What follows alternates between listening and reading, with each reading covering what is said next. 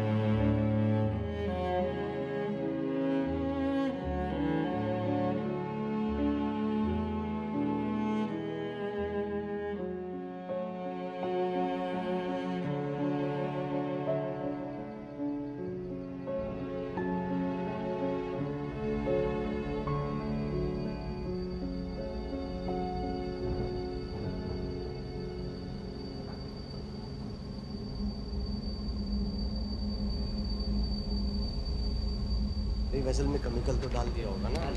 डाल दिया पूरा। नीचे वाली वेसल्स भी दिगांत रीडिंग ले लिया क्या? हाँ? रीडिंग ले लिया। अरे रीडिंग सब बराबर है बॉस अरे तुमको कितनी बार बोला है मैं बॉस नहीं हूँ बॉस नीचे बैठा है। जय भाई ओके बॉस तो फिर बॉस तू सुधरेगा नहीं ना? चार हो गए। जय भाई। अब ठीक है हाँ? करेक्ट अच्छा सुन ये वाली वेसल भी चेक कर ले यार। अरे सब ठीक है छह महीने में आपने एक्सपर्ट बना दिया है बॉस बॉस बोलता रहता है। चार। नीचे से भी तो और लाने हैं।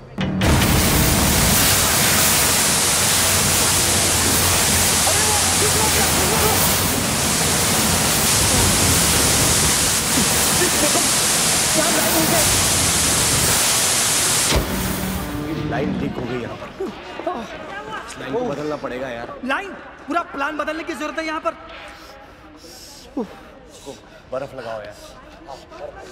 अरे आनंद साहब एक मिनट बर्फ़ लगा दें इसको देख। Sir Anand sir. ठीक है मैं बात करता हूँ। सर वहाँ एक लाइन लीक हो रही है सैंपल का उसको क्या हुआ? वो मुझे अभी चाहिए। सर ये खतरनाक है दिगांत को चोट लगी है। अगली शिफ्ट में हो जाएगी पहले सैंपल ले लो ये बेच ज़्यादा लेकिन सर वो लाइन मामूली सी चोट है ठीक हो जाएगी ओके?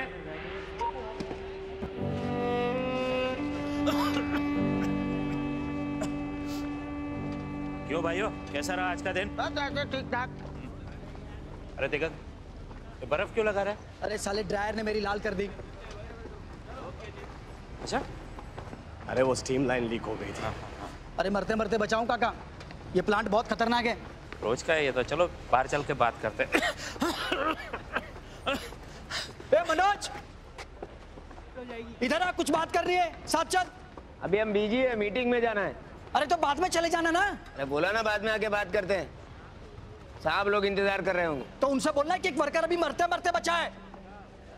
साला सिर्फ़ नाम की पगार और खतरे हज़ार चला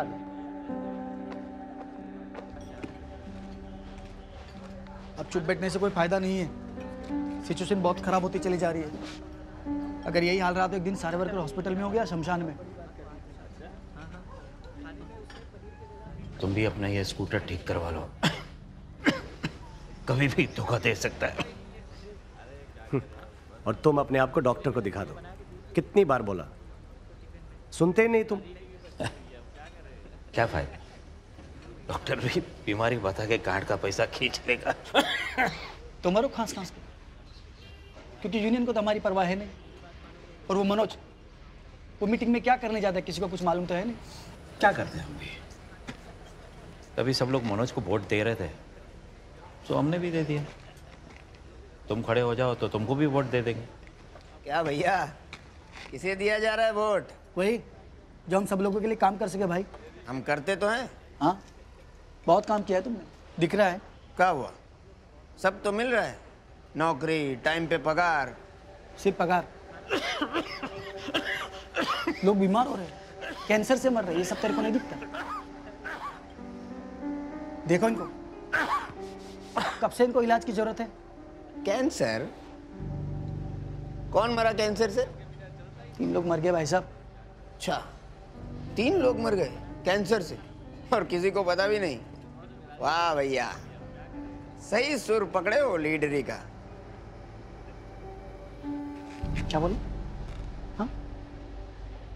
मज़ाक चल रहा है सर। वर्कर्स का मरना मज़ाक लग रहा है तुझे। खेले ये सब? जिस थाली में खाते हो उसी में काहे छेद कर रहे हो दिगंत? हम्म? वर्कर का मौत कैंसर की वजह से नहीं ज़्यादा सिगरेट पीने की वजह से हुआ है। अगर यकीन न हो तो ब्लड रिपोर्ट देख लो। सारे वर्कर सिगरेट नहीं पीते। हर दूसरे मजदूर को अस्थमा है हर तीसरे को अल्सर है। कईयों की नाक में इतने बड़े बड़े छेद पड़ गए ये सब तेरे को नहीं दिखता। सजाना चाहता है अरे इतना ही प्रॉब्लम है तो दूसरा नौकरी ढूंढ ले। इन लोगों की रोजी रोटी काहे खराब कर रहा है? हाँ तो तेरी जगह मैं होता ना तो नौबत ही नहीं आने देता, समझा ना? अच्छा बेटा। तो जा हमारी जगह। बना ले अपना यूनियन फिर कर हक की लड़ाई। तो ये सब कहना आसान है। चिल्ला चिल्ला के निकल जाता है, लेकिन कोई पहुँचने नहीं आता। समझा? जो मिल रहा है, उसमें खुश रहे। वरना ये भी हाथ से जाएगा। समझाओ इसको? वरना नौकरी भी जाएगी और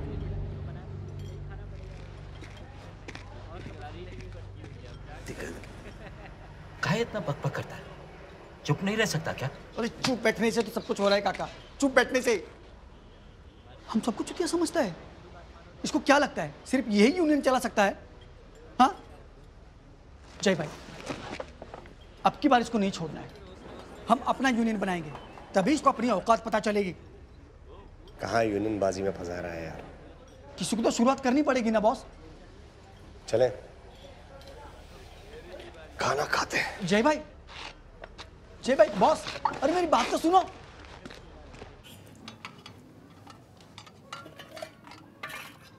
मम्मा मुझे एक रोटी दो ना रोटी नहीं है तो चावल। पढ़ाई कैसे चल रही है? पापा कुछ पूछ रहे हैं? हम्म, मस्त।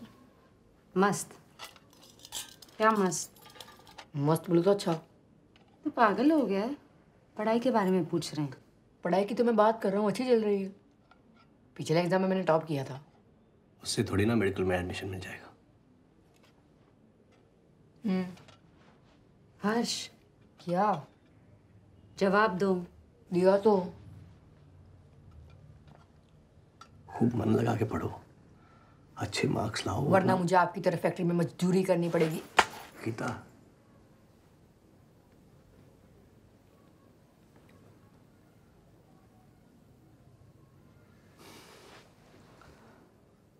कर्जा लेकर तुझे इसीलिए पढ़ा रहे हैं ताकि तेरी ज़िंदगी बन जाए।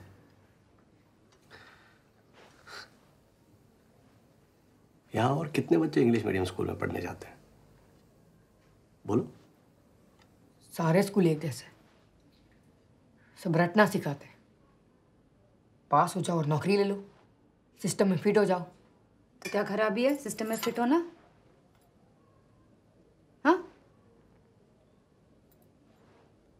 कोई ये नहीं सिखाता अच्छे इंसान कैसे बनते हैं? सबके साथ मिलकर कैसे रहते हैं? आई हेट दिस सोसाइटी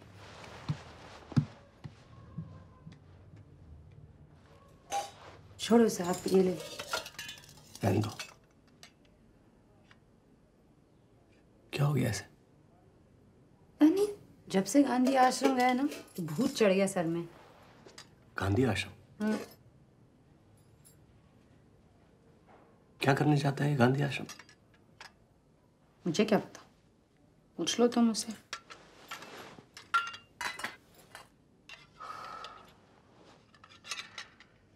हमारी ज़िंदगी तो नरक है अब इसकी भी। खा तो लो।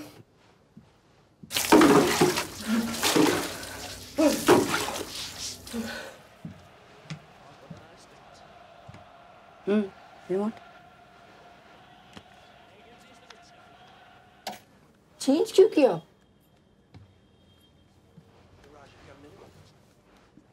ये सब सिखा रहे तुझे गांधी आश्रम में। जवाब देना। इतनी बात उतना जवाब देना नहीं।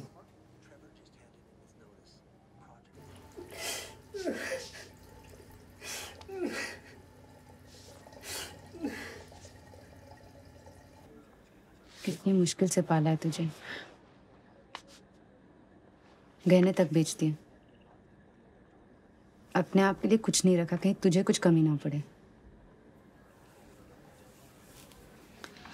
और तू? सॉरी मम्मा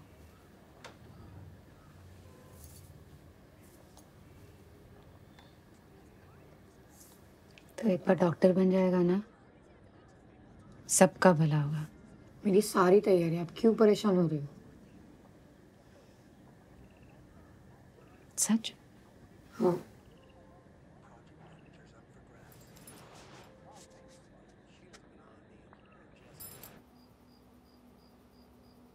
क्या सोच रहे हो?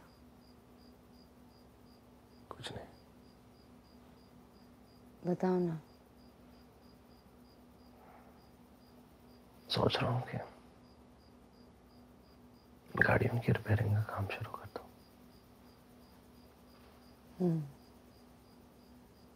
कुछ एक्स्ट्रा इनकम हो जाएगी। शुरुआत अपनी स्कूटर से करना तुम भी परेशान कर लो। परेशान तो रमन काका कर रहे हैं। आज चार लोगों के सामने किराए की बात करती। तुम दिगंत से क्यों नहीं पूछते? स्कूटर में तो वो भी जाता है ना तुम्हारे साथ। पेट्रोल के पैसे तो देने चाहिए उसे नहीं? छोटे भाई जैसा हो।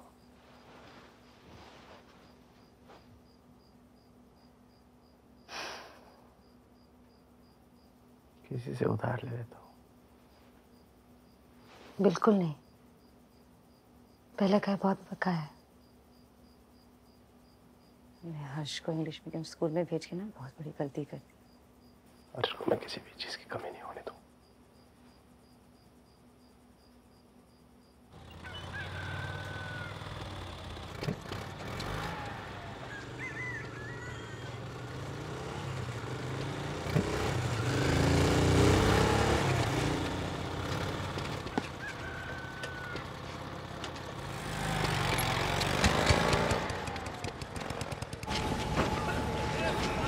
क्या जय भाई इस जगह का हाल भी आपके स्कूटर जैसा ही है।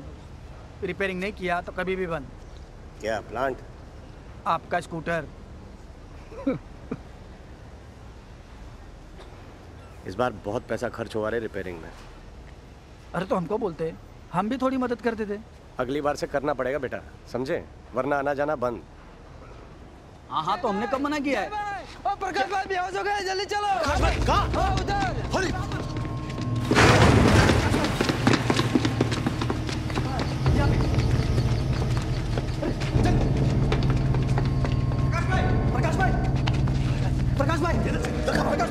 प्रकाश भाई आ गया। क्या? प्रकाश भाई प्रकाश भाई। पुलिस नहीं आया हम ऑटो ले आए ऑटो ले चलो चलो। उठा उठा प्रकाश भाई प्रकाश भाई प्रकाश भाई आँखें खोलो आँखें खोलो। कुछ नहीं होगा प्रकाश भाई आपको कुछ नहीं होगा। आइए संभल संभल संभल। आइए। अरे वो रिक्शा अंदर तक ले आ चल। तू चल ले साथ में चल। क्या हुआ इसे? भाई जो औरों को हुआ है क्रोमियम सल्फेट खा खा के फेफड़ों ने जवाब दे दिया। तो इसे हॉस्पिटल लेके जाओ। तो आप लोग कुछ मदद कीजिए ना। इमरजेंसी नाम की कोई सुविधा है कंपनी के पास? चल ना तो। आप करता है। चल चल। आइए अरे रिक्शा का क्या हुआ यार?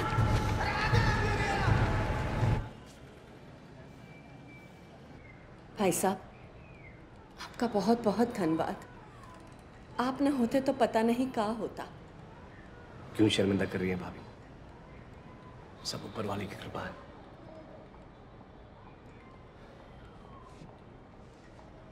कैसे हो प्रकाश भाई? आप लोगन बात कीजिए हम चाय लेकर आते हैं।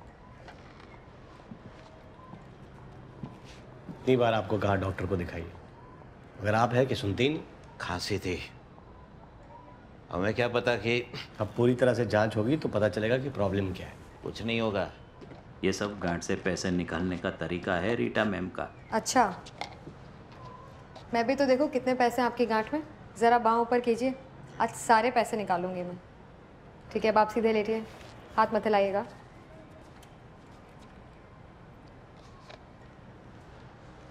अंकल चेक कर लीजिए। आपकी गांठ के सारे पैसे बचे या नहीं? पैसे तो बराबर है, लेकिन खून कम लग रहा है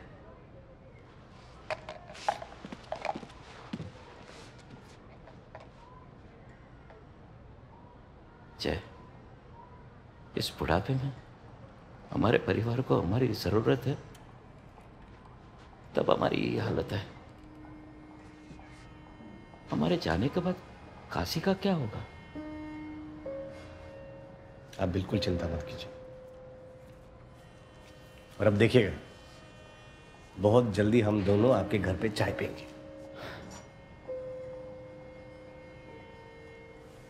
पता है जय राम प्रकाश भी मरने से पहले इसी तरह खांस रहा था।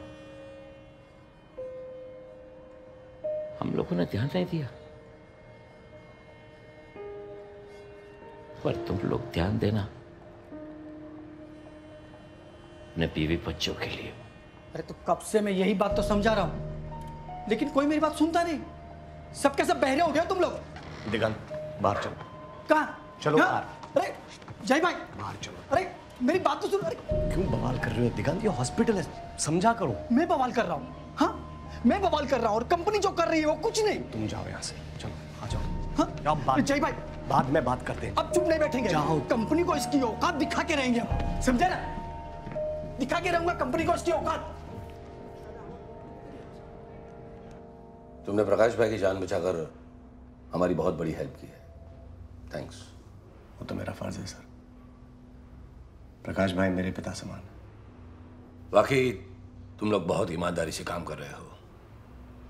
अगर इसी तरह काम करते रहे तो हमारी कंपनी बहुत जल्द गुजरात की टॉप की कंपनी बन जाएगी। और तब तक ना जाने कितने मजदूरों की मौत हो जाएगी। What? हाँ साहब ये कंपनी मजदूरों की जान लेकर के मुनाफा कमा रही है। ए, क्या बकवास कर रहा है? साहब इस पे ध्यान मत दीजिए पागल है। इसको ऐसे दौरे पड़ते रहते हैं। ठीक है तो कंपनी इसका भी इलाज करवा देगी। पहले अपनी लालच का इलाज करो केतुल साहब। हमारा तो बस हेल्थ और सेफ्टी से हो जाएगा। ए, इतना क्यों भोग रहा है? जान रहा है किससे बात कर रहा है?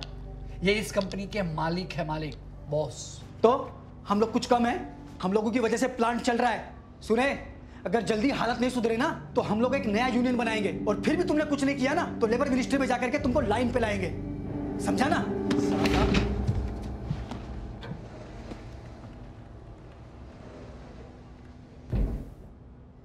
पिछले साल हमारे दो साथी रामप्रकाश और हरीश भाई कैंसर से मर गए। और रिजवान भाई का भी जनाजा निकला सब लोग क्रोमियम सल्फेट खा खा कर मर गए। हाँ सबको पता है ये मौत तो नॉर्मल नहीं थी लेकिन कोई कुछ बोलता नहीं। और जिसको बोलना चाहिए वो पोपट बन के मालिक की बोली बोल रहा है। ए होशियारचंद काहे भड़का रहा है सबको? भाइयों सबको पता है कि मैनेजमेंट के साथ पगार के लिए बात चल रही है। ये हम कब से सुन रहे हैं यार? हाँ भाइयों बातों से पेट भरता है क्या? पेट भरता है बातों से? देखो भाइयों थोड़ा सब्र रखो। कंपनी बापी में एक नया प्लांट लगा रही है। उस प्लांट के लगते बस ही चुप कर। अब बहुत सुन लिया चुप कर दो भाइयों इसकी बातें सुनने का कोई मतलब नहीं है। अब टाइम है नए यूनियन का नए यूनियन लीडर का। मैं जय गोयल का नाम नए लीडर के लिए आगे रखता हूँ। जय भाई।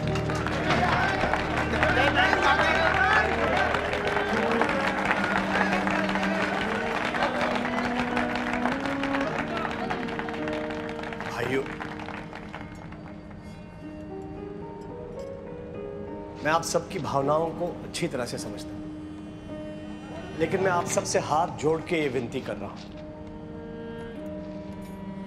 मैं इस काबिल नहीं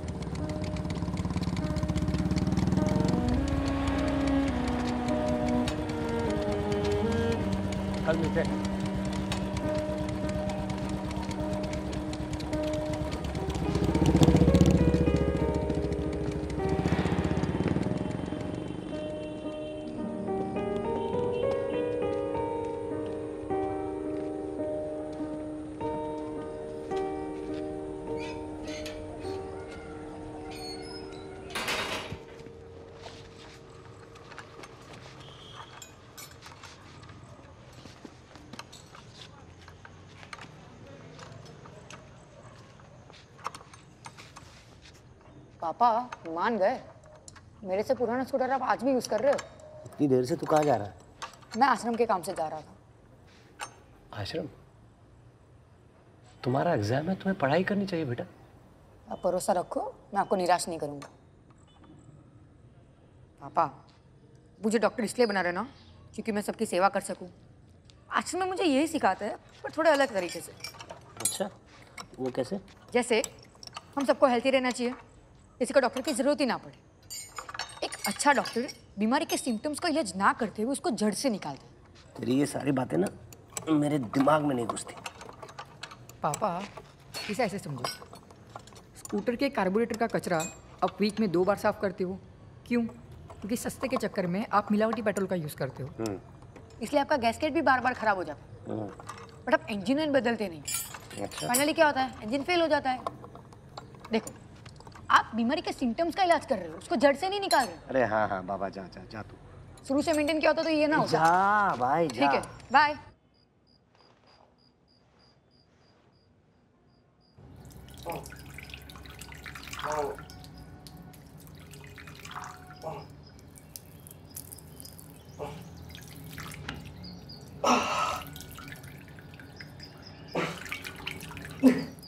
आराम करो भरपूर नींद लो। और ये तुम्हारे सेहत के लिए बहुत ज़रूरी है जय कोई सीरियस प्रॉब्लम तो नहीं है? नहीं नहीं नहीं नहीं नहीं ऐसा कुछ सीरियस प्रॉब्लम नहीं है। बहुत खांसी आए और सांस में दिक्कत हो तो मेरे पास चले आना समझे? और अ, जब तक पेशाब क्लियर ना हो तब तक ये दवाई लेते रहना।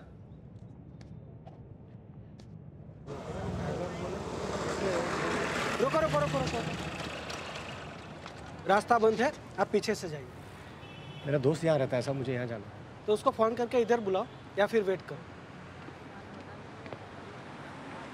क्या क्या हुआ है? मर्डर हुआ है। मर्डर किसका? अरे भैया मुझे क्या मालूम? मैं मरने वाले का आयकर लेके थोड़ी घूमता हूँ। ए पीछे हटाओ पीछे हटाओ तो। पीछे हटाओ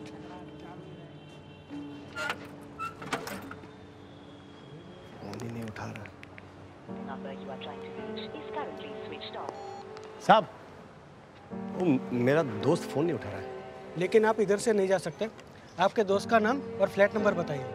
उसका नाम दिगंत है और फ्लैट नंबर 219 219 वहाँ तो मर्डर हुआ है। आप इधर ही रुकिए मैं साहब को बुला के आता हूँ।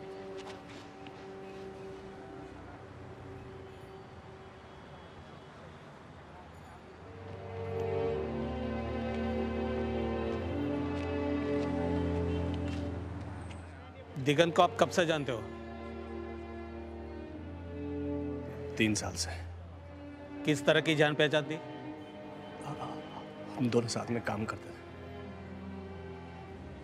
और दोस्ती हो गई थी। उसकी किसी से कोई दुश्मनी?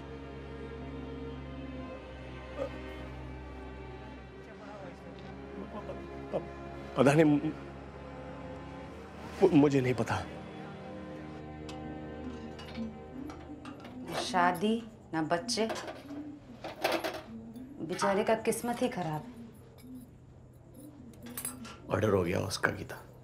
मर्डर किसका मर्डर पापा? था मेरा एक दोस्त तुम नहीं जानते।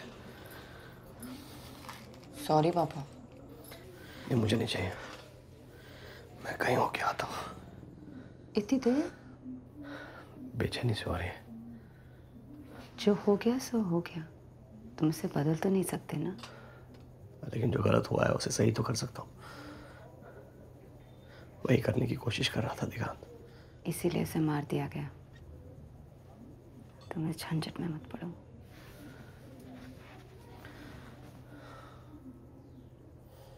छोटे भाई जैसा था वो मेरे। हमारे हक की लड़ाई लड़ रहा था। चुपचाप करके बैठ तो नहीं सकते ना?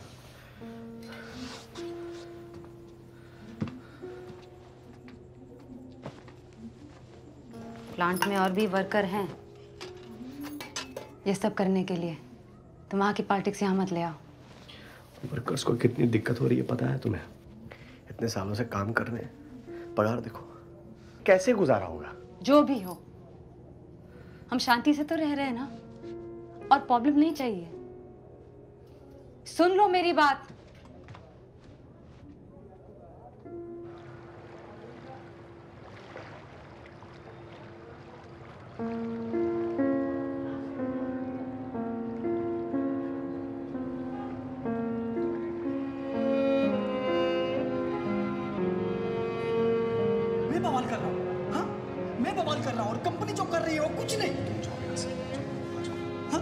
जय भाई। बाद में बात करते हैं। अब चुप नहीं बैठेंगे। कंपनी को इसकी औकात दिखा के रहेंगे। समझे ना?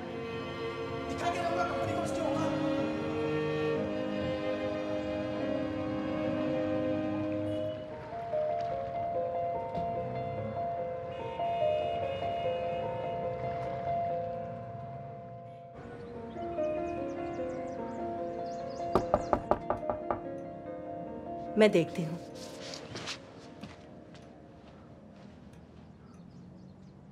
कहा था ना मैंने हम लोग घर पे बैठ के चाय पियेंगे। कैसा न हो पाए मैं तो ठीक हूँ प्रकाश भाई। सब लोग पूछ रहे हैं आपके बारे में। अरे मैं तो कल ही आ जाऊँ। परी सुसरी बीमारी। पगार पहले से ही बंद। ऊपर से दवा दारू का खर्चा। ज़रूरत हो तो बताइएगा। तुम पहले से ही इतना सब कुछ कर रहे हो। कोई अपना होता ना वो भी इतना नहीं करता। कैसी बातें कर रहे हैं आप? हम और आप एक है प्रकाश भाई।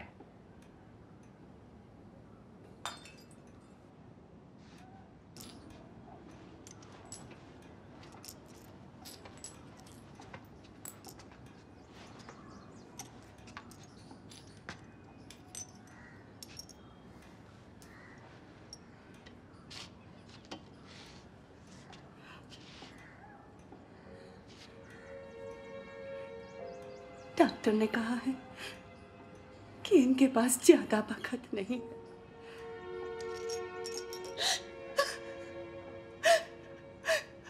कैंसर हो गया है। हमारे डॉक्टर ने जवाब दे दिया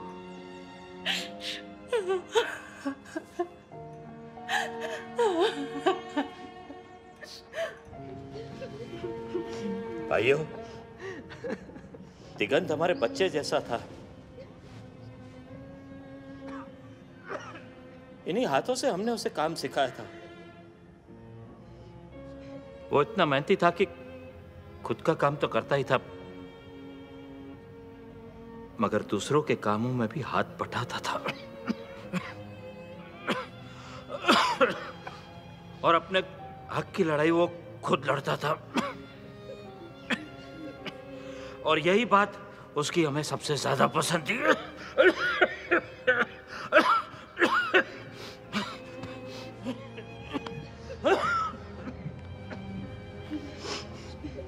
दे, हाथ दे। प्रकाश भाई यही कहना चाहते थे।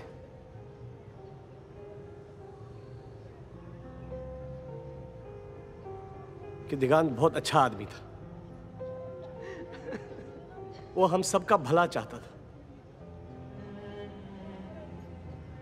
वो हमेशा कहता था कि ये मालिक लोग हमसे हैं, हम इनसे नहीं। और इसीलिए शायद उसकी जान चली गई प्रकाश भाई को देखिए, कितनी खराब हालत है इनकी। और ऐसी ही हालत हमारे कई मजदूर भाइयों की है। क्या सपना था उसका? अब कौन करेगा उसका सपना पूरा? What you just saw is Temple of Industry. It symbolizes self-reliance and the dignity of labor. Gandhi ji कभी कैपिटलिज्म के खिलाफ नहीं रहे। उनके हिसाब से मजदूर प्रोडक्ट तैयार करता और कैपिटल इंक्रीज करता। है इसलिए मालिक को ट्रस्टी बनकर वर्कर्स का ध्यान रखना चाहिए। In trusteeship the workers become a co share with capitalist instead of remaining slave इसलिए मालिक वर्कर का वेलफेयर का ध्यान रखते हैं। So take a look around and will continue the tour after a short break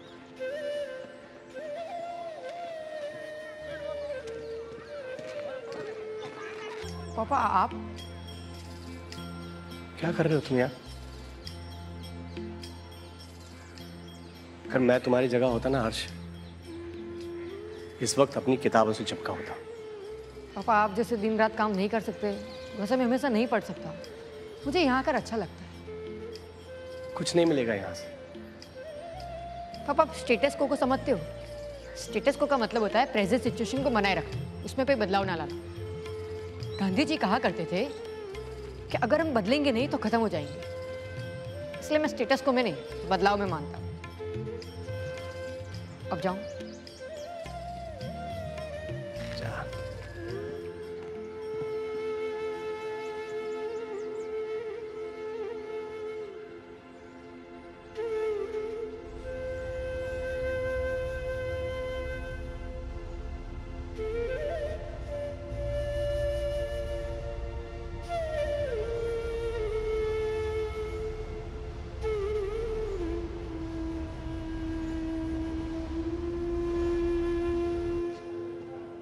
sir. हाँ बोलो। मुझे परमार साहब से मिलो। आगे जाके राइट से परमार साहब। मैं ही बोलो। साहब मुझे आपसे ज़रूरी बात करनी है सिर्फ़ दो मिनट कल आ जाना आज मैं लेट हो चुका हूँ। सर आपने अपोलो केमिकल्स का नाम सुना? भाई कल आ हम क्रोमियम सल्फेट बनाते हैं सर मैं वहाँ प्लांट ऑपरेटर हूँ। सर प्लांट की हालत बहुत ख़राब है सर वर्कर्स को तरह तरह की बीमारियाँ हो रही हैं और और मालिक लोग बिल्कुल ध्यान नहीं दे रहे सर। बीमारियाँ? ऐसी बीमारियाँ? सांस लेने में तकलीफ़ हो रही है। नाक से छेद हो रहा है, सर। सर, अल्सर हो रहा है। कैंसर हो रहा है, सर।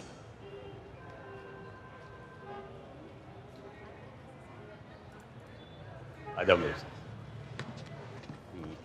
देखिए भाई, वर्कर की सेफ्टी के लिए, उनके हितों की रक्षा के लिए बैठे सरकार ने कुछ कड़े नियम बनाए हैं। और हर कोई कंपनी की ज़िम्मेदारी है, नियम का पालन हो। और उसमें भी आपके प्लांट में तो क्रोमियम सल्फेट का प्रोडक्शन होता है। ऐसे प्लांट में तो हर दो साल में एक बार वर्कर्स का मेडिकल चेकअप होना बहुत ज़रूरी है। सर दस साल हो गए मुझे इस कंपनी में काम करते हुए। अभी तक एक बार भी मेडिकल चेकअप नहीं हुआ। देखो भाई मैं तो अभी अभी मुंबई से यहाँ ट्रांसफ़र हुई मेरी। तो मुझे ज़्यादा तो कुछ जानकारी है नहीं आपके प्लांट के बारे में लेकिन जिस तरह आप बात बता रहे हो मुझे साफ़ दिखाई दे रहा है। आपकी कंपनी वर्कर के साथ ठीक सलूक नहीं कर रही है। आपका यूनियन लीडर क्या करता है? उसकी ज़िम्मेदारी है। साहब पता नहीं क्या कर रहे हो। हम बहुत परेशान हैं साहब। एक काम करो। तुम्हारा नाम पता कांटेक्ट नंबर मुझे दे दो। हम इंक्वायरी करेंगे।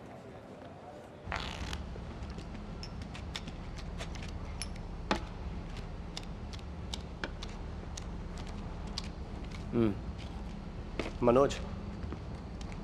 मनोज। हम्म। मैंने लेबर इंस्पेक्टर से बात कर ली है। उसका कहना है कि वर्करों का हर दो साल में एक बार मेडिकल चेकअप हो जाना चाहिए। अरे जय तू कहाँ इन लफड़ों में पड़ रहा है? हम्म? मजदूरों की सेहत का सवाल है मनोज। मैं चाहता हूँ कि तुम इस बारे में केतुल साहब से बात करो। ठीक है बात कर लूँगा।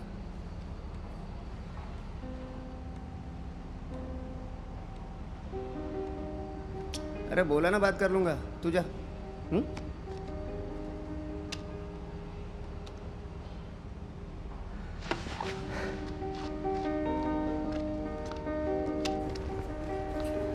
अच्छा तुम लोग तो मुझसे पहले से आओ हाँ।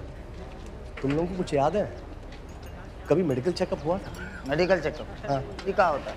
हम तो नाम पहली बार सुन रहे हैं। अरे बारह साल पहले जब हम लोग यहाँ पे आए थे तब हमारे शरीर की जाँच हुई थी याद है? हाँ वो सफ़ेद सफ़ेद कपड़ा पहन के डॉक्टर है गोरी गोरी नर्सबा के साथ। हाँ, सुई चुपाई इतना दर्द हुआ दो दिन तक हाथ दुखता रहा हमारा। ई पकड़ पकड़ के चले थे हाँ पर दोबारा कभी जाँच नहीं हुई? मनोज क्या बोल। रहा है मनोज क्या बोलेगा? भाई टाल मटोल कर रहा है। सब साले चोर है। और मुझे नहीं लगता कुछ होने वाला।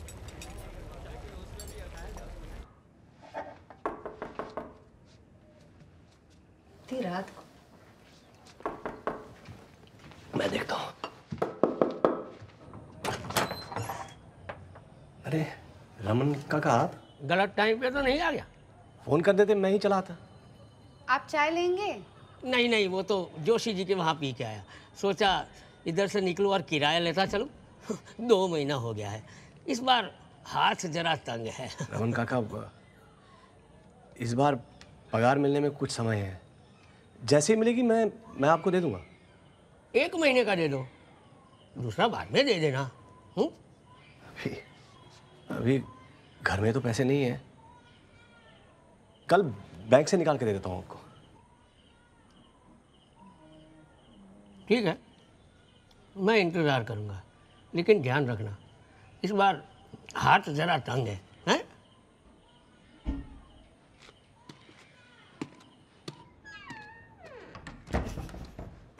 दस मकान है पर फिर भी बहुत जरा तंग है। है। आपने पगार बढ़ाने की बात की? पगार ऐसे ही नहीं बढ़ती है गीता। क्यों? सबसे ज़्यादा काम फैक्ट्री में आप ही करते हैं ना? आप लोग जरा चुप रहोगे प्लीज़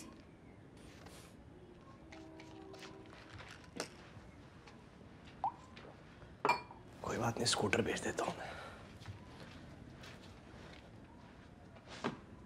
बेच दो। और कुछ तो है नहीं बेचने को।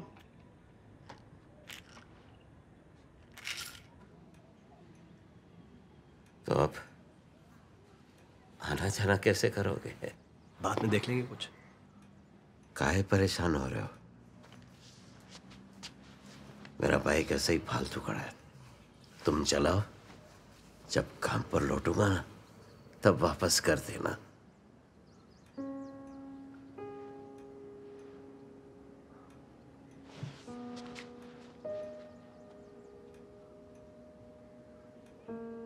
बार दिगंत की बात पर फिर से गौर ज़रूर करना।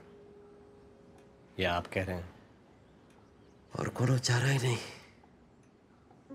दिगंत में जोश रहा पर होश नहीं। तुम समझदार हो। एक बार मनोज और केतुल साहब से अच्छे से बात करके देखता हूँ। कुछ नहीं होगा। वो नहीं चाहेगा कि मनोज हटे। केतुल ने पैसा खिलाकर उसका मुँह बंद कर दिया है। ये ये आपको कैसे पता? एक बार उसके घर पे जाके चाय पियाओ। सब समझ जाओगे।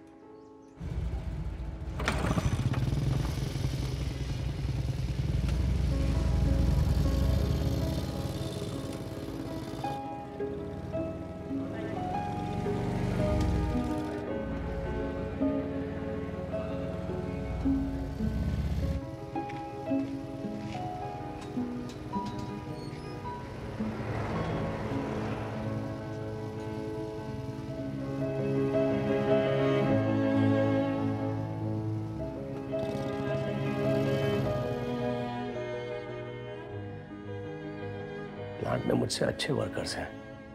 वो बात नहीं जय भाई। आप सबको ट्रेनिंग दिए हो आप सीनियर हो और सब लोग आपकी बात मानते तो हम चाहते हैं कि आप हमारे नए लीडर बने। लेकिन बाला प्रकाश भाई मुझे यूनियन के बारे में कुछ नहीं पता। जय भाई एक बात बताइए। आप जब इस प्लान में आए थे तो क्या सब कुछ सीख कर आए थे? सही बोल रहा है। एक बार सोच लो जय। बीमारी से मरने से तो अच्छा है लड़कर मरना।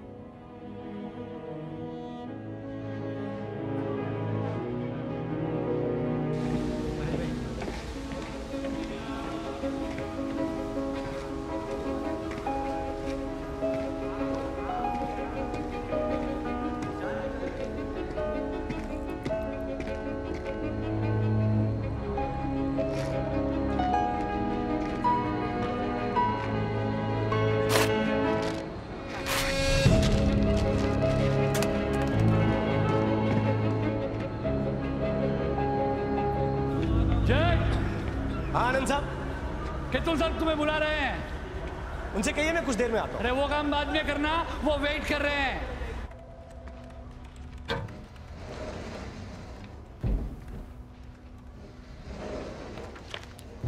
आओ जय। वेलकम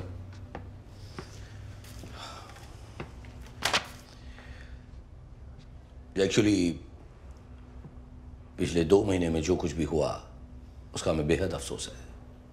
यू नो दिगन की मौत से हमारे प्लान का बहुत बड़ा लॉस हुआ है और प्रकाश की बीमारी के बारे में सुनकर हम सब दुखी है। इस दौरान तुमने जिस ईमानदारी से जिस लगन से काम किया है थैंक यू सो मच आपने मेरे काम को सराहा। उसी के मुताबिक मेरी तनख्वाह भी बढ़ा देते सर तो अच्छा होता। एक्चुअली जय मैं पिछले कुछ दिनों से तुम्हारे प्रमोशन के बारे में ही सोच रहा था। यू नो आज के ज़माने में तुम जैसा ईमानदार आदमी मिलना बेहद मुश्किल है। और आसिफ आनंद ने मुझे कहा कि सुपरवाइजर की पोस्ट खाली है। तो यू नो तुम एक बार सुपरवाइजर बन जाओगे तो तुम्हारी तनख्वाह भी काफ़ी कुछ बढ़ जाएगी। तुम भी यही चाहते हो ना? हुँ? और एज इफ़ ये यूनियन बाजी वगैरह तुम जैसे सीधे इंसान के लिए नहीं है। तुम्हें अपना ज़्यादा से ज़्यादा समय अपनी फैमिली को देना चाहिए। हम सब अपनी फैमिली को टाइम देना चाहते हैं सर कोई यूनियन बाजी नहीं करना चाहता। आप भी नहीं चाहते हैं ना? या बिल्कुल। मैं जानता था सर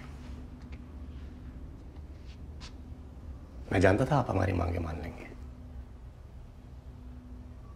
नया इक्विपमेंट डालकर आप प्लांट को सुरक्षित बनाएँगे। फिर ना कैंसर होगा ना बीमारियाँ होंगी और ना यूनियन बनेगी। क्या ये सब फालतू की बातें कर रहे हो तुम? यू नो क्रोमियम सल्फेट का हमसे बेहतर प्लान पूरे इंडिया में नहीं है। और रही बात ये सेफ्टी सिक्योरिटी तो हम सारे इंटरनेशनल नॉर्म्स रूल्स को फॉलो कर रहे हैं। और एक बात समझ लो ये वर्कर्स की तनख्वाह के बारे में मेरी मनोज से बात चल रही है। मनोज अब यूनियन लीडर नहीं रहा सर हम एक नई यूनियन बना रहे हैं। अब आपको जो भी बात करनी होगी, नई यूनियन से करनी होगी। सबसे पहले तो आप सबका यहाँ आने के लिए धन्यवाद। जैसे कि हम सब जानते हैं कि हमने कामदार यूनियन के नाम से हमारा एक नया यूनियन बनाया और उसके लीडर को चुनने के लिए आज हम यहाँ इकट्ठा हुए हैं। और हम सबने मिलकर ये तय किया है कि हमारा नया यूनियन लीडर जय गोहिल बने।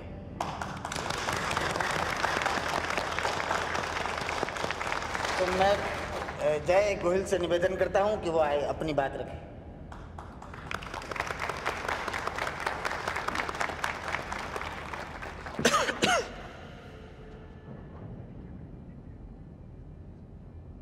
आप सब लोग मेरे स्कूटर को तो बहुत अच्छे से पहचानते हो। मैं सस्ते के चक्कर में उसमें मिलावटी पेट्रोल डाल देता हूँ। फिर हर दो दिन में कॉर्पोरेटर साफ़ करता रहता हूँ। फिर जब उससे भी बात नहीं बनती है तो मैं कास्केट बदलता हूँ, प्रकाश भाई।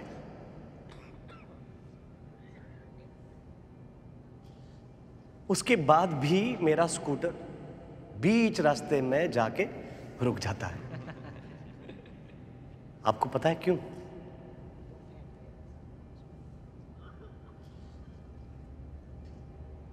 क्योंकि उसका इंजन खराब है।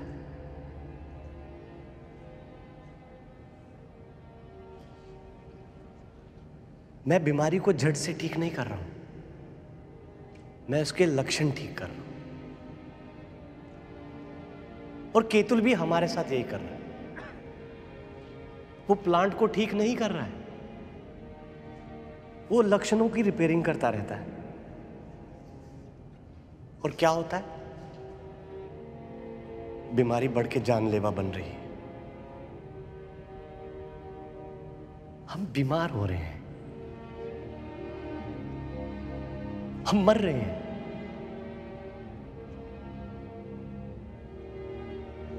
कब तक सहेंगे? क्या हम यूँ ही मरते रहेंगे? अब समय आया है दोस्तों। इस बीमारी को जड़ से ठीक करने का।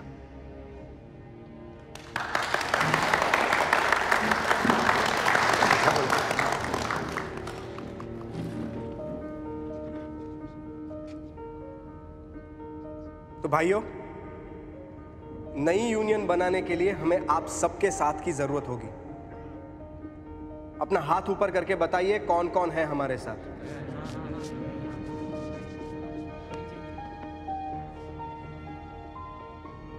अब प्लांट में हमारे पास दो यूनियन है और हमें दोनों में से किसी एक को वोट देना है। जय भाई और मनोज में से जो जीतेगा, वही हमारा यूनियन लीडर होगा।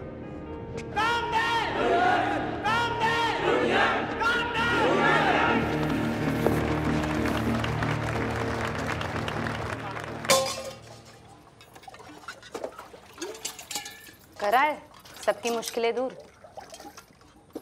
क्या किया मैंने? भोले मत बनो। दूसरों की मुश्किलें घर पे लाते हो। फिर पूछते हो क्या किया मैंने? क्या कह रही हो तुम?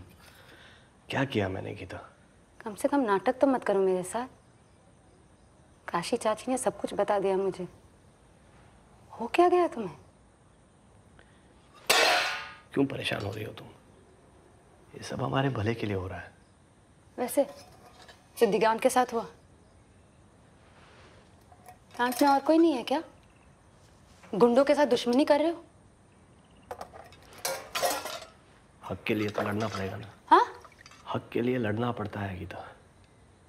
मुझे लगा तुम कहीं नौकरी ढूंढ रहे हो। हर जगह यही हाल है। अनजान लोगों से लड़ने से अच्छा है जान पहचान वालों से लड़ूं। नौकरी से निकाल दिया तो? किराया खर्चा कैसे निकलेगा? रिस्क तो लेना पड़ेगा। क्या? रिस्क लेना पड़ेगा गीता। कब तक यूँ ही हाथ पे हाथ धरे रखकर बैठे रहेंगे?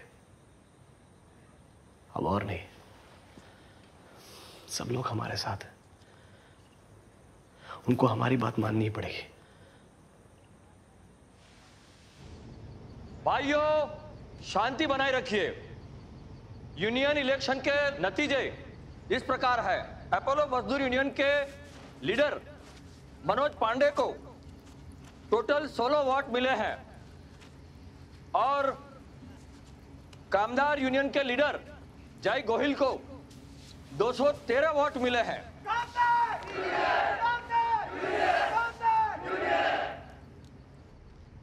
मैं इस चुनाव में कामदार यूनियन को विजेता घोषित करता हूँ।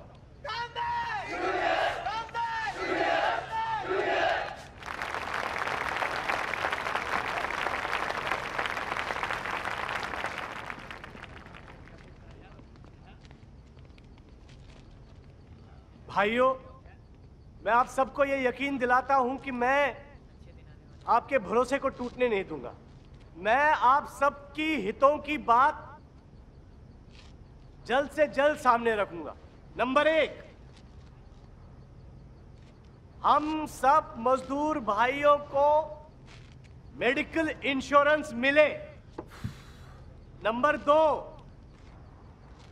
इतने सालों से जो हमारी पगार नहीं बढ़ी है, उसको बढ़ाया जाए। और भाइयों, मैं आज ही लेबर इंस्पेक्टर से मिलके ये सारी बातें उनके सामने रखूँगा।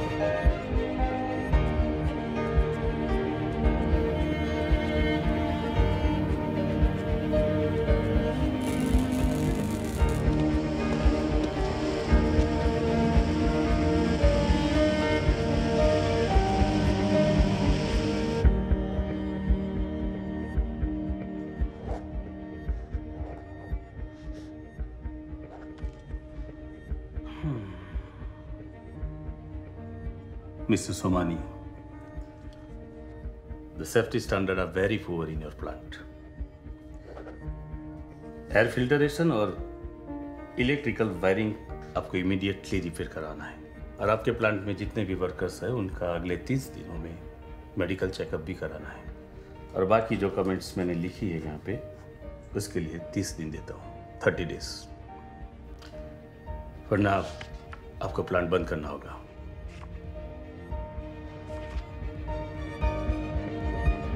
पापा अब तो खुश हो ना? फाइनल में 98 परसेंट लाया हूँ। बहुत खुश हूँ। चलो इसी बात में मुँह मीठा कर ले। ये आप- आप लो ना। मैं तुम्हें खिलाऊँगा। गीता अरे गीता लो। अच्छा सुन। हाँ? फ़ी कम करने की कुछ बात की? माँ पाँच छः लाख तो हो गए। अरे डोनेशन शीट वाले तो पचास साठ लाख तक देते हैं। पर हमारे लिए पाँच लाख भी बहुत है ना? सारे पैसे एक साथ नहीं देने हैं गीता। चार साल में पाँच लाख है ना? हाँ। हमारे लिए तो पाँच छः लाख बहुत है। कहाँ से आएँगे? भगवान पे भरोसा रखो गीता। हो जाएगा। अच्छा तुम्हें याद है? हम्म।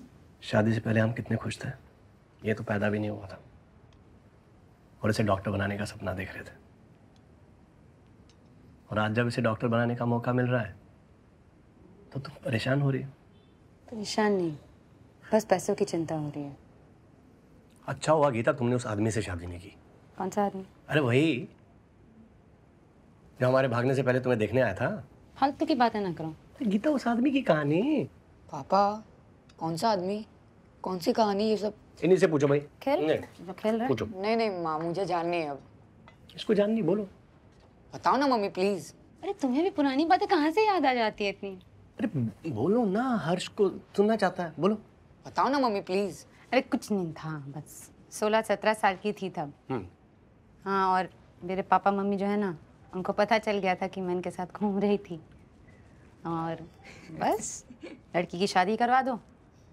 तो एक लड़का आया मिलने मुझे हम्म। मोटा सा।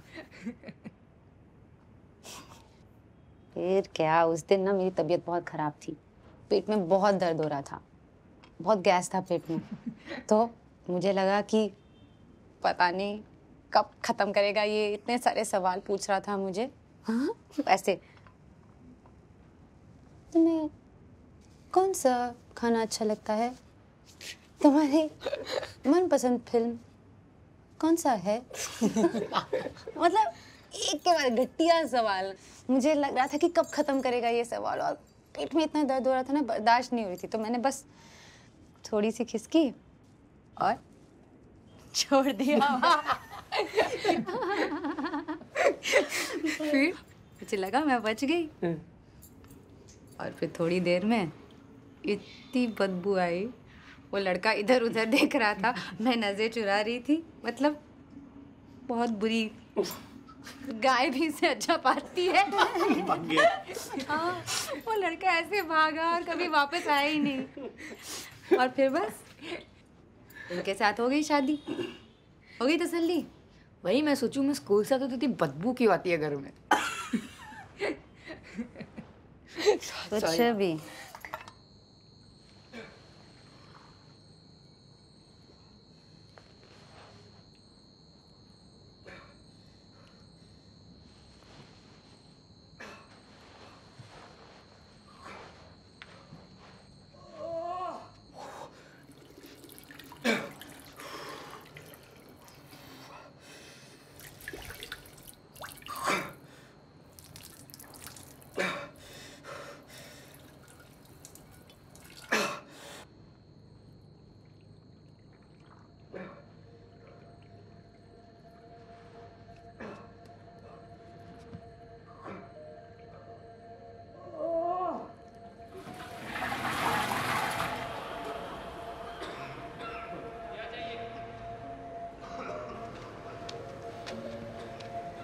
रॉ मटेरियल का क्या हो रहा है?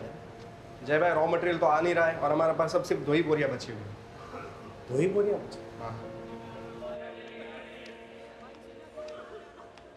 ये सब क्या हो रहा है आनंद साहब?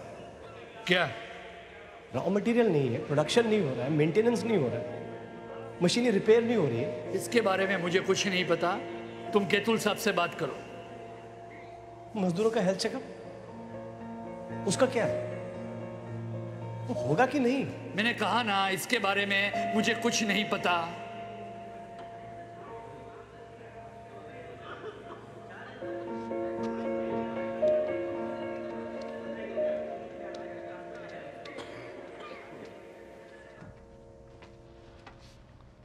नहीं सुबह तक कैसे पहुंचेगा? अभी अभी निकला है रात को आठ बजे। या। या ठीक है। और हाँ ये हमारा आखिरी कंसाइनमेंट होगा। जी ऑलराइट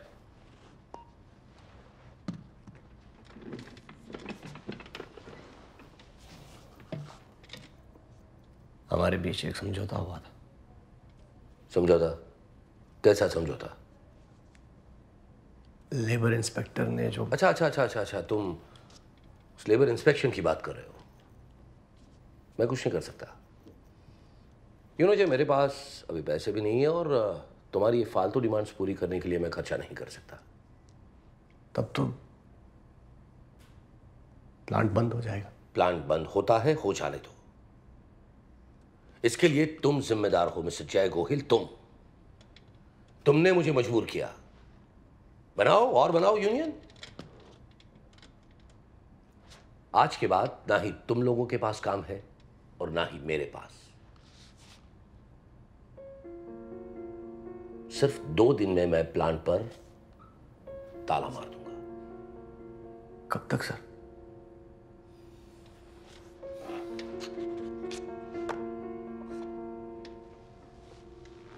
हमेशा के लिए।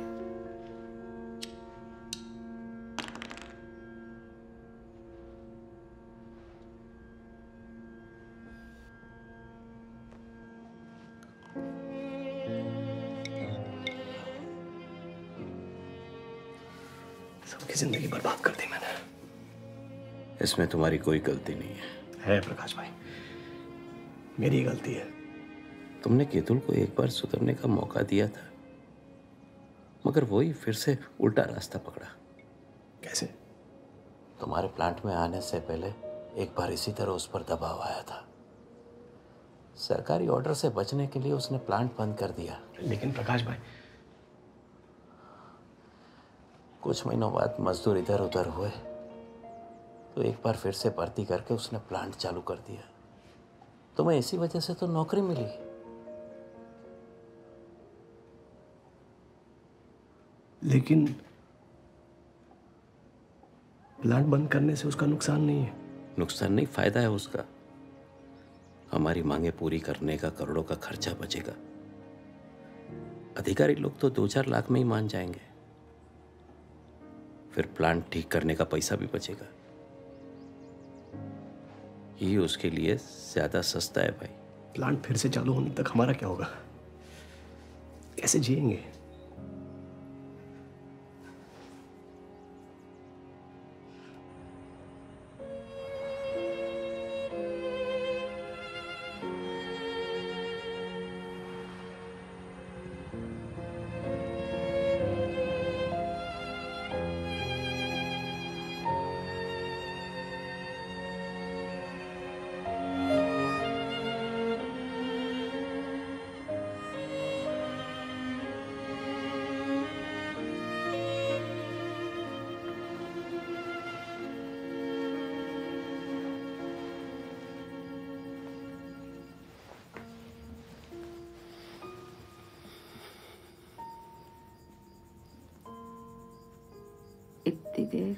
कहाँ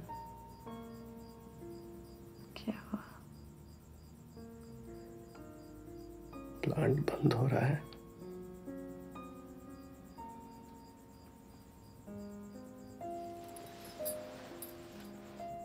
क्या?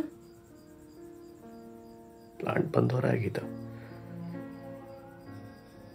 मुझे पहले से ही पता था ये होने वाला है। इसलिए तो मैं रोक रही थी। करो पॉलिटिक्स। मेरी बात तो सुननी नहीं थी। अब क्या करेंगे?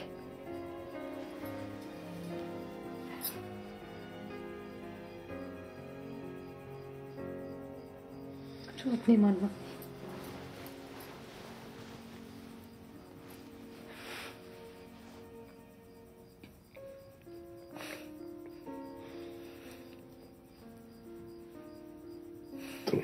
शादी से पहले मैंने तुमसे वादा किया था।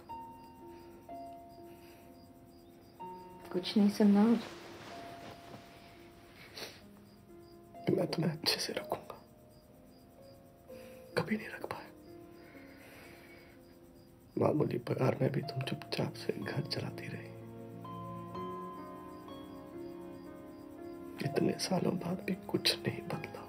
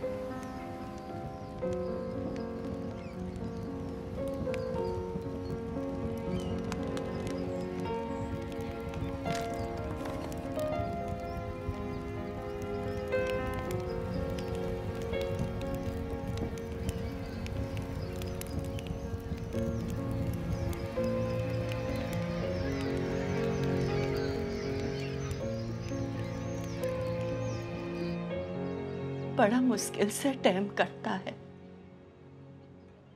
तुम लोग यहाँ काहे नहीं आ जाते।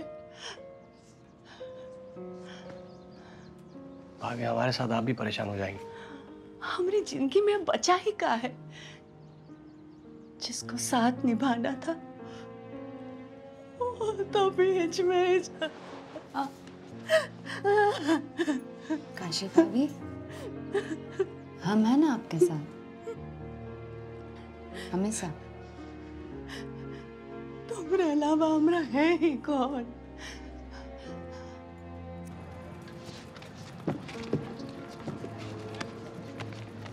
पापा हाँ। किसी और के घर जाना थोड़ा अजीब सा लग रहा है।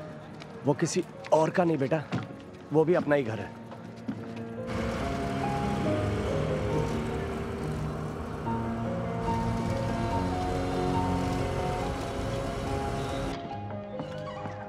साहब हमें इंसाफ दिलाइए। सबकी महीनों की पगार बकाया है सर लोग बीमार हैं किसी के पास काम नहीं है पैसे नहीं है। ऊपर से मेडिकल चेकअप के डर से उन्होंने प्लांट बंद कर दिया सर देखिए हमारे पास जो रिकॉर्ड है उसके मुताबिक अपोलो केमिकल में वर्कर्स का मेडिकल चेकअप रेगुलरली होता है। सर ये रिपोर्ट झूठी है। एक केतुल सोमानी ने गलत रिपोर्ट दर्ज कराई है सर। बिना सबूत किसी कंपनी पे हम कोई कार्रवाई नहीं कर सकते। अगर तुम जो कह रहे हो वो सच है तो एक काम करो। कंपनी के खिलाफ लिखित में शिकायत दो। सारी परेशानी बताओ और उस पर वर्कर्स की साइन लो। अगर शिकायत सही निकली तो हम कंपनी पर ज़रूर कार्रवाई करेंगे।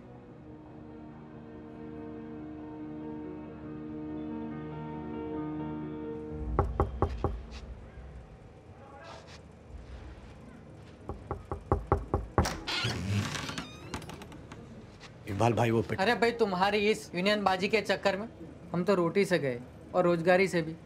इकबाल भाई समझो। सरकार तभी कार्रवाई करेगी जब हम सब साथ होंगे। और वो जो नया लेबर इंस्पेक्टर है परमार साहब वो हमारी मदद कर रहा है। माफ़ करो।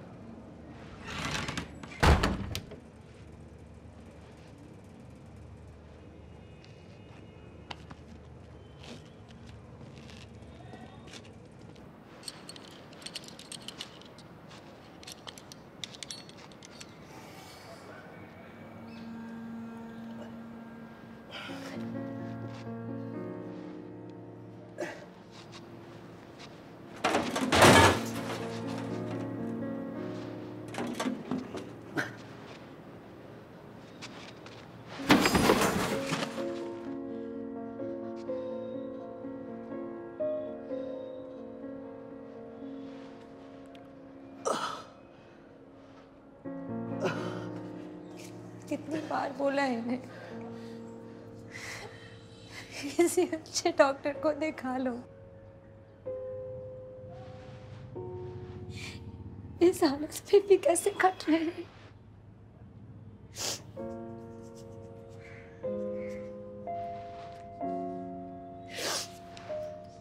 तू एक बार उनसे बात कर ले। अच्छे डॉक्टर के पास ले जा जा।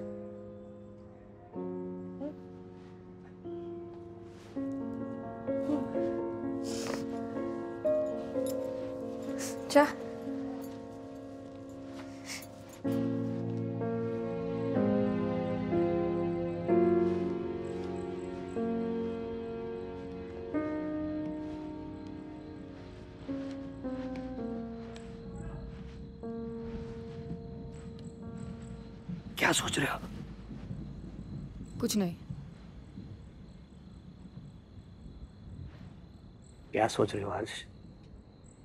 मैं ये सोच रहा था कि मैं मेडिकल कॉलेज में एडमिशन नहीं लेता मैं बीएससी में ले लेता हूँ। कैसी बातें कर रहे हो तुम? उसमें खर्च कम होगा पापा।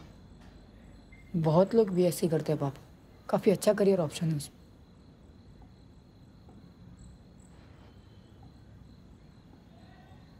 इतने इतने पैसे तुम्हारी स्कूल और ट्यूशन पे इसलिए खर्च किया ताकि तुम बी बीएससी करो। लेकिन आपने मुझसे झूठ क्यों बोला? झूठ? आपने कहा कि आपकी तनख्वाह बढ़ने वाली है। और आप मेडिकल का खर्चा उठा पाओगे। मैं कर लूँगा। हो जाएगी तुम्हारी मेडिकल की फ़ीस बेटा। अभी मेरी मेडिकल की फ़ीस इंपॉर्टेंट नहीं है पापा। आपको अच्छे से इलाज की ज़रूरत है। क्या हुआ है मुझे? हाँ? कितनी आसानी से आप अपनी परेशानी छुपा लेते हो ना। मैं तो बच्चा हूँ मुझे कुछ समझ नहीं आता। ऐसी बात नहीं है बेटा। पापा मेरे डॉक्टर बनने या ना बनने से कोई फ़र्क नहीं पड़ेगा। पर अगर आपकी आपकी सेहत अच्छी नहीं होगी तो हमें फ़र्क पड़ता है। नहीं। मैं मेडिकल नहीं जाऊँगा।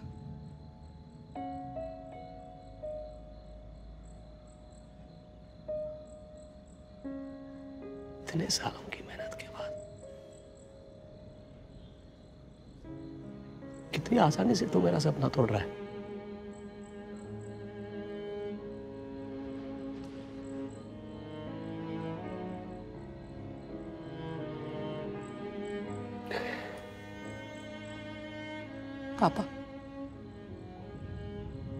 मेरा ये मतलब नहीं था।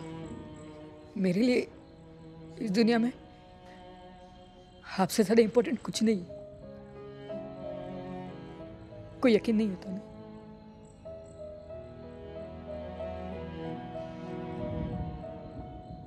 तो बताइए, इसे साबित करने के लिए मैं क्या कर सकता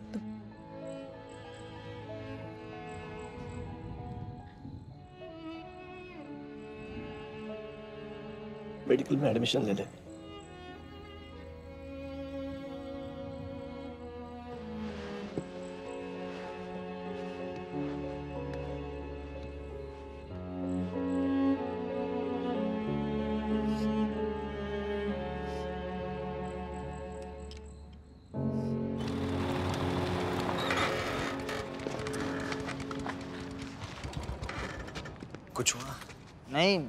बारह लोगों ने सिग्नेचर किया है। बाकी का है कि हम सबसे बता रहे हैं लेकिन कोई बात सुनने कोई बात नहीं। साला कोई समझने को तैयार नहीं है। सबके दिमाग में भूसा भरा पड़ा हुआ असल में सब डरे हुए हैं। वक्त लगेगा लेकिन सब मान जाएँगे। वो विमला बहन से बात हुई? नहीं कहा हुआ सुबह सुबह हमारे पेट में गड़बड़ाई रही। तो हम जा... हुई। ठीक है विमला बहन से बात करके देखते हैं। अब ये सब करने से क्या फ़ायदा?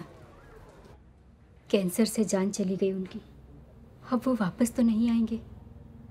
हमारी ही किस्मत खराब थी। इसमें किस्मत की कोई गलती नहीं है बिमला बहन। प्लांट की वजह से उनकी जान चलेगी हम यही साबित करना चाहते हैं। आप इस पे साइन कीजिए।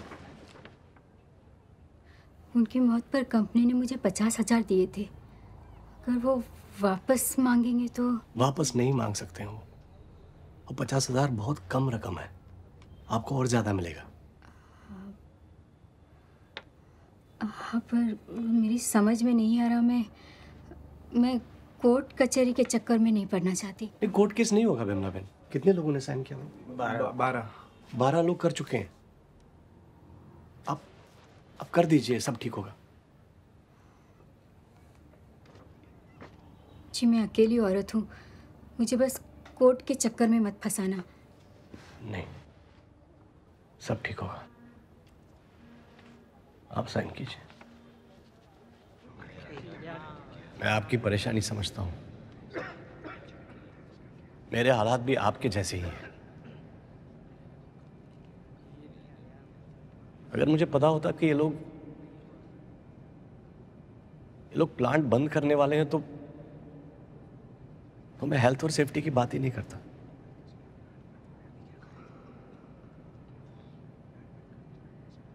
भले ही प्रकाश भाई कैंसर से मर जाए। मैं खून मूत मूत के मर जाऊँ और आप लोग क्रोमियम डस्ट खा के मर जाऊँ। मरने से हमें क्या फ़र्क पड़ता है? नौकरी जाने से पड़ता है।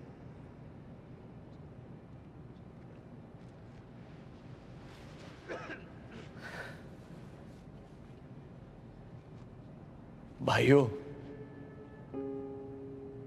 सतीश परमार एक अच्छा लेबर इंस्पेक्टर है। वो हमारी मदद करना चाहता है। उसने कहा है कि अगर हम इस पिटिशन पे साइन करेंगे तो सरकार अपोलो केमिकल्स के खिलाफ कार्रवाई करेगी। उनको प्लांट फिर से चालू करना पड़ेगा। हम लोगों को नौकरी देनी पड़ेगी। और वो भी हमारी मांगों के साथ। अब आप लोग सोच लो आपको लड़के मरना है। घुट घुट के मरना है।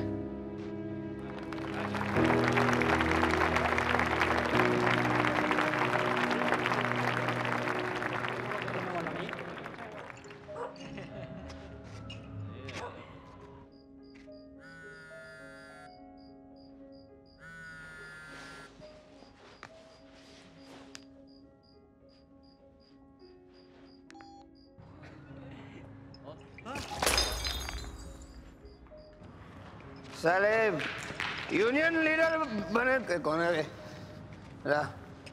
यूनियन लीडर बनेगा हाँ? दूँगा तेरी घर में गोली? और मैं इतनी गोली मारूँगा सारे के हगना भूल जाएगा। समझा?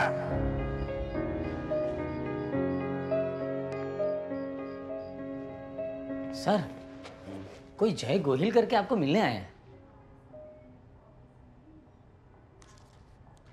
एक काम कर। उसे बोल दे मैं कुछ दिनों के लिए आउट ऑफ़ स्टेशन गया हूँ। हम्म? साहब तो बाहर गए हैं बाद में आना।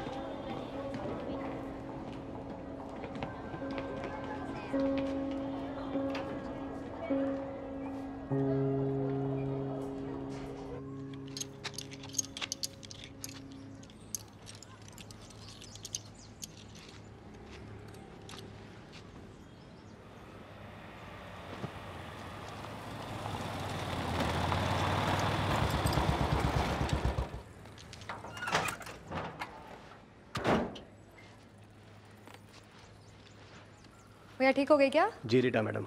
लेकिन वो थोड़ा ऑयल लीक हो रहा है और सस्पेंशन की थोड़ी प्रॉब्लम अच्छा। गाड़ी खोलनी पड़ेगी। नहीं भैया नेक्स्ट टाइम चेक कर लेना। मैं एक बार में इतना अफोर्ड नहीं कर पाऊँगी। ब्रेक्स तो ठीक कर ली मैंने। हम्म। चलिए टेस्ट ड्राइव करते हैं। ब्रेक आवाज़ नहीं कर रही है ना? इंजन ऑयल भी जो लीक हो रहा है उसे जल्दी से ठीक करा लीजिए। वरना गाड़ी बैठ सकती है। कितना खर्चा आएगा उस पर? उसमें एक कोई तीस चालीस हज़ार रुपये तक पूरी गाड़ी खोलनी पड़ेगी इसलिए। आप प्लांट में प्रकाश अंकल के साथ ही काम करते हैं ना? फिर भी इतना चार्ज करेंगे मुझसे? ठीक है आप सिर्फ़ पार्ट्स के पैसे दे देना। बाकी मैं देख लूँगा। थैंक यू अरे एक मिनट एक मिनट जरा। थैंक यू बाला! बाला कहाँ जा रहे हो भाई? कुछ लोगों को मिलना है। परमार साहब से बात हुई क्या? फ़ोन ही नहीं उठा रहे। ए, लगता है उसका भी सेटिंग हो गया। सब लोग मिलके हमका बना रहे भाई जल्दी कुछ करना पड़ेगा। सब लोग गालियाँ दे रहे हैं। ठीक है मैं फिर से उनके ऑफ़िस जाता हूँ। देखता हूँ क्या बोलते हैं। ठीक।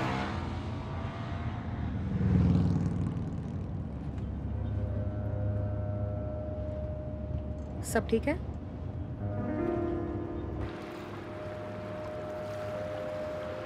मैंने सारे वर्कर्स के टेस्ट किए थे बहुत बुरा हुआ है सबके साथ। आप पहली इंसान हैं जो ऐसा कह रही हैं। वरना लोग तो हमें पागल समझते हैं। केतुल और हमारे क्लिनिक के ओनर बहुत अच्छे दोस्त हैं। इसीलिए कई बार हमें वर्कर्स के ब्लड रिपोर्ट्स को नॉर्मल दिखाने के लिए कहा जाता है। और नौकरी जाने के डर में हमें करना पड़ता था। प्रकाश भाई की भी।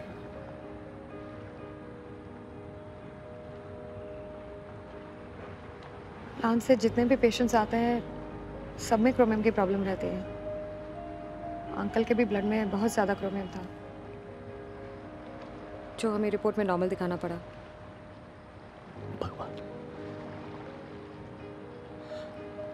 आप मुझे असली रिपोर्ट्स दे सकती हैं। आपका बहुत बड़ा एहसान होगा मुझ पर। मैं कोशिश कर सकती हूँ।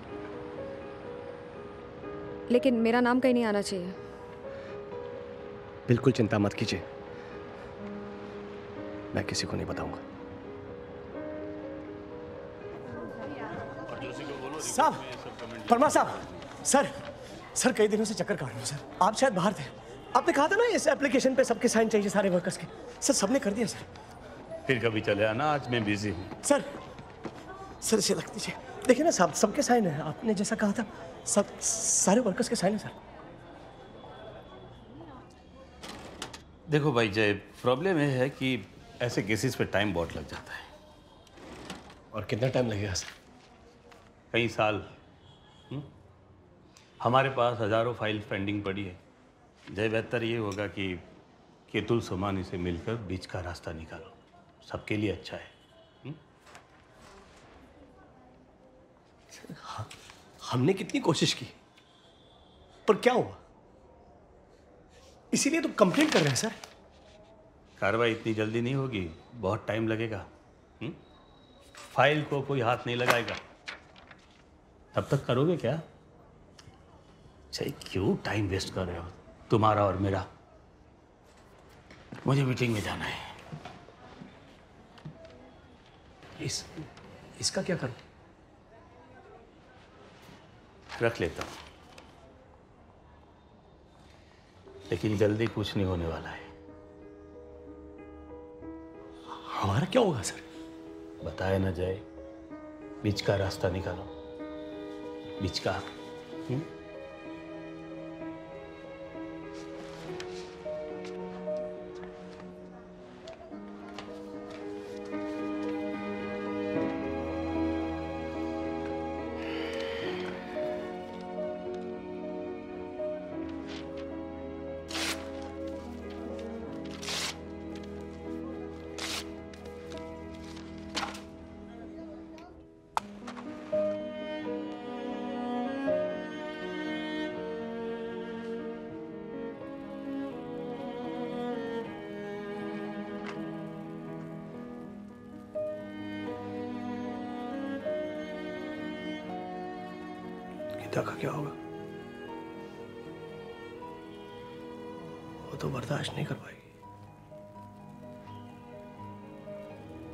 अर्ज़ ने बहुत मेहनत की है। डॉक्टर बनना है भगवान।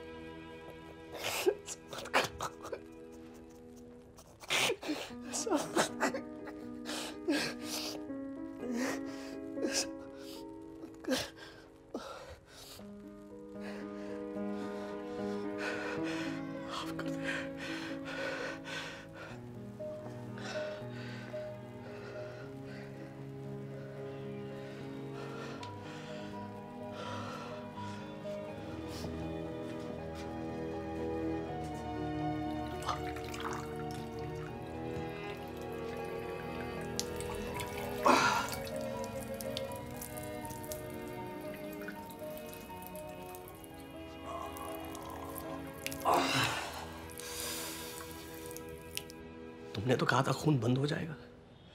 लेकिन अभी भी कोई बात नहीं। चाहे पेशाब में जलन होती है। बहुत ज़्यादा। अरे कभी कभी दवाइयाँ देरी से काम करती है। किडनी की दिक्कत है ना? कैंसर तो नहीं है। नहीं ये सिंपल किडनी की दिक्कत है। तुम्हारे फेफड़े तो क्लियर है। मैं दूसरी दवाई लिख देता हूँ। शायद इससे शायद। शायद। अरे छह महीने से खून में उतरा हूँ तुम कह रहे हो शायद। तुम्हें पता भी है मुझे क्या हुआ है? इतनी ही दिक्कत है ना? तो चाहो दिखाओ किसी और को।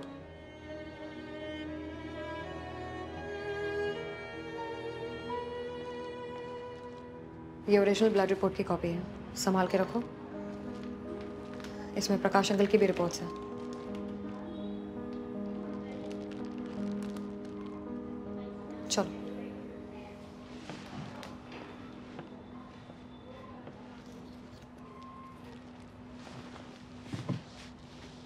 हाथ ऊपर करो। इसे उठाओ। डॉक्टर ने तुम्हारे लिए कई टेस्ट लिखे हैं। Urine sputum blood. हाँ तो यूरिन में कब से ब्लड आ रहा है? छह सात महीने से। और तुम अब आ रहे हो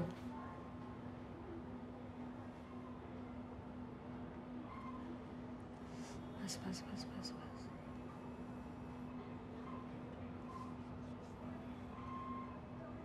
हाथ ऊपर करो। पकड़ के रखो।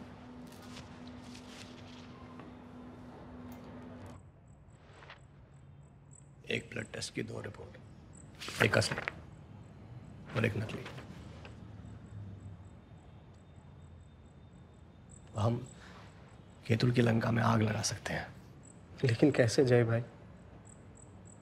वो लेबर इंस्पेक्टर भी तो साला बिक चुका है।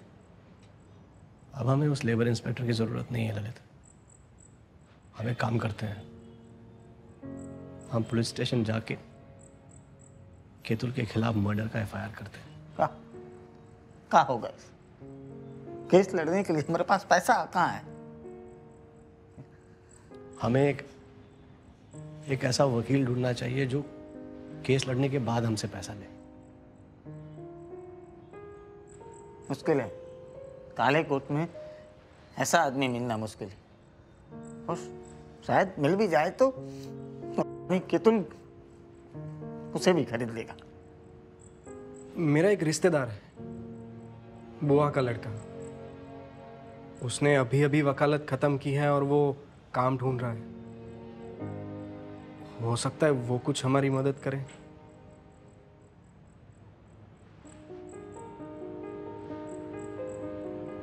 अच्छा आइडिया लेकिन उसे ज़्यादा अनुभव नहीं है। हमें अनुभव की नहीं। ईमानदारी की ज़रूरत है। मरने वालों की ओरिजिनल ब्लड रिपोर्ट मेरे पेशाब में अभी काफ़ी समय से ब्लड आ रहा है। आप लोगों के साथ जो भी हुआ है वो बहुत गलत हुआ है।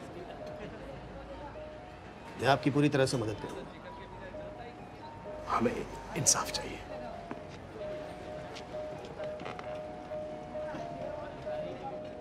केतुल साला जेल में होना चाहिए। मैं पूरी कोशिश करूँगा।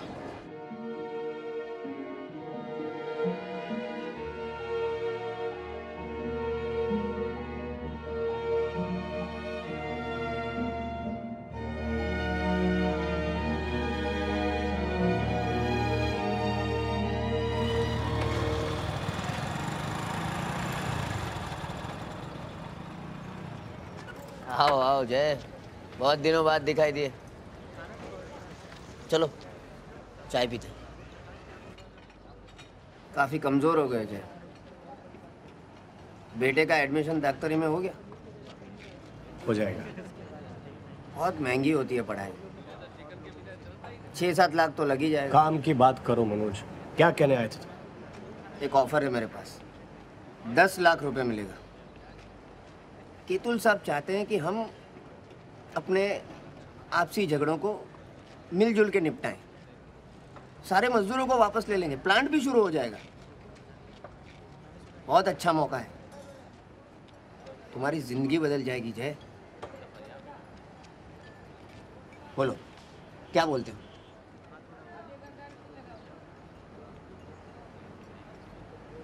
ये बात अब उसी से होगी जिसे पैसे देने हैं।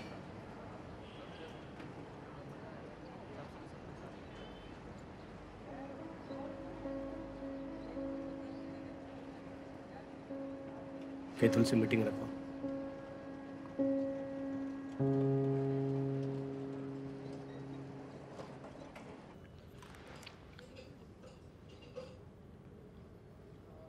आ गए बहुत टाइम से वेट कर रहा हूँ तुम्हारा। क्यों कोई और अपॉइंटमेंट है क्या? नहीं नहीं। तुम्हें से मिलने आया हूँ यहाँ। काम की बात करें।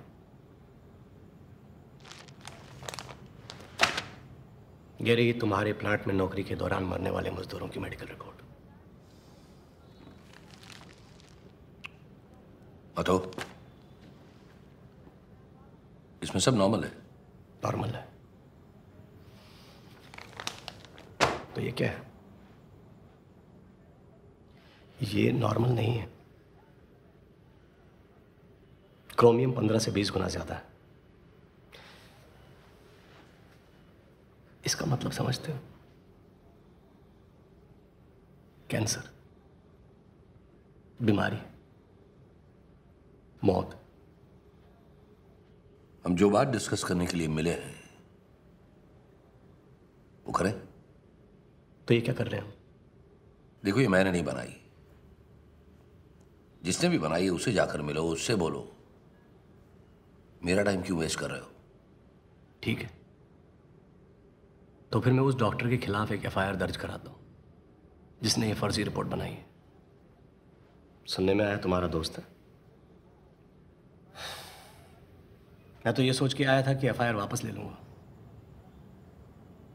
कोई नहीं एक और एफआईआर करता हूँ। एक मिनट। कितना चाहिए? अब लाइन पे आए तुम। तो फिर ये भी मान लो कि तुम्हारी वजह से पाँच बेकसूर मजदूरों की जान चली गई है। तुम्हें पैसे चाहिए ना? फिर बेकार की बातें क्यों कर रहे हो? ठीक है हम तुम्हें मुँह मांगे पैसे देंगे। कितना चाहिए? एक मौत का पाँच लाख।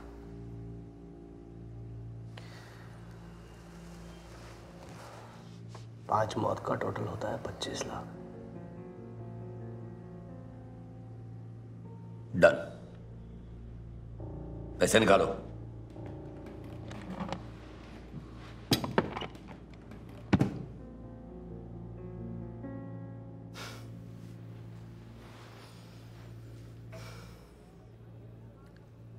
स्टेटस को समझते हो तुम केतु? स्टेटस को का मतलब होता है, अगर बदलोगे नहीं तो खत्म हो जाओगे। सारी दुनिया बदल गई, लेकिन तुम नहीं बदले केतु। हमने कितनी कोशिश की तुम्हें बदलने की।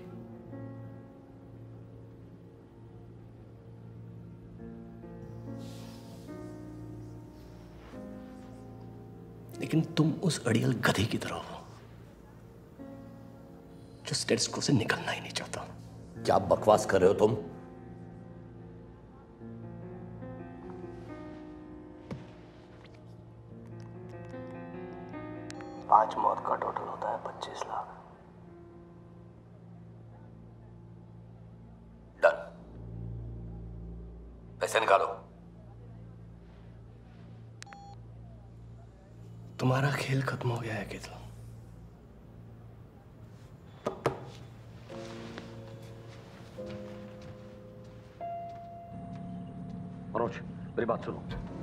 है जय ने हमसे धोखा किया है। मुझे ढूंढो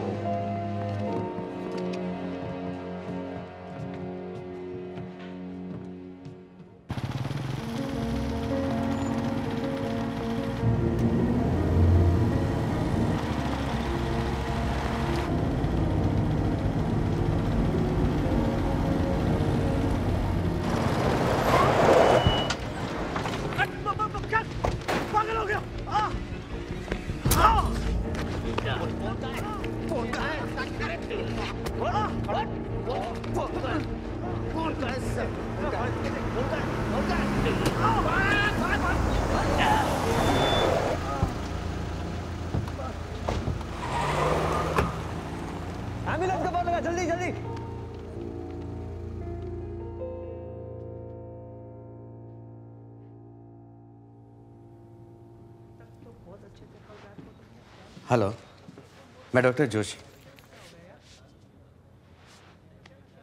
पहले से बेहतर लग रहे हो। चाकू लगने से तुम्हारी लेफ़्ट किडनी में काफ़ी नुकसान हुआ है अब तुम्हें कुछ दिन यहीं रहना पड़ेगा।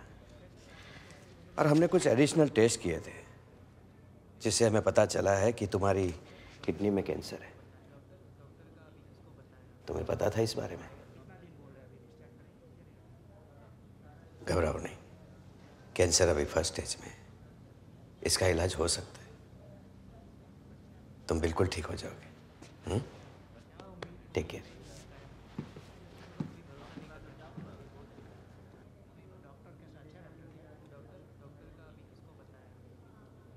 पेश किए गए सभी सबूतों को देखने के बाद अदालत आज इस नतीजे पर पहुँची है। कि केतुल सोमानी और आनंद दीक्षित ने जानबूझकर प्लांट में ऐसे हालात पैदा किए, जिससे कि पाँच मजदूरों की जाने गई। इसके साथ ही इन्हें धोखाधड़ी, रिश्वतखोरी, कानूनी और मेडिकल दस्तावेजों के साथ छेड़छाड़ का भी दोषी पाया जाता है। इसके अलावा अदालत पुलिस को आदेश देती है कि वो दिगन पाटिल की हत्या और जय गोहिल की हत्या की कोशिश करने के केस में भी इनकी भूमिका की जाँच करें। दिगंत पाटिल की हत्या और जय गोहिल की हत्या की कोशिश को अंजाम देने वाले आरोपी मनोज पांडे को जल्द से जल्द गिरफ़्तार किया जाए। और अदालत केतुल सोमानी को प्लांट और कंपनी बेचने का आदेश देती है। इनमें से पाए गए पैसों का पहला भाग प्लांट के जरूरतमंद मजदूरों के इलाज में खर्च किया जाए। दूसरा भाग मरने वाले मजदूरों के परिवार को दिया जाए। और तीसरा और अंतिम भाग सभी मजदूरों में उनकी नौकरी के अवधि के आधार पर आपस में बांट दिया जाए। ये अदालत नए मालिक को आदेश देती है कि वो सभी मजदूरों को फिर से नौकरी दे। और कंपनी को फैक्ट्री एक्ट 1948 के तहत चलाए। भविष्य में श्रम कानूनों का पालन करते हुए मजदूरों की सुरक्षा और सुविधा पर पूरा ध्यान दिया जाए, ताकि ऐसी इस तरह की दुखद घटनाएँ फिर से न हो।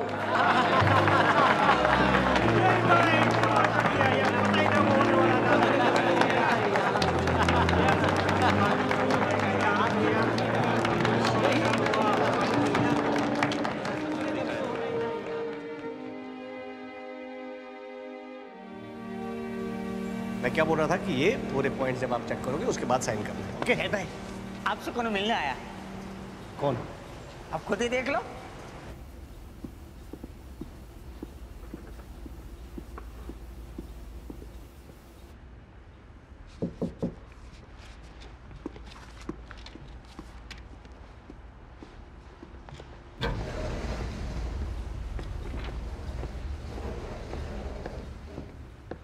अरे हर्ष!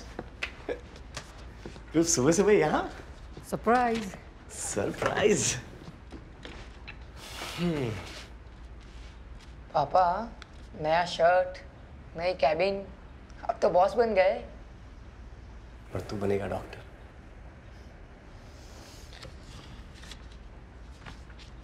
कैसे चल रही है पढ़ाई? मस्त मस्त.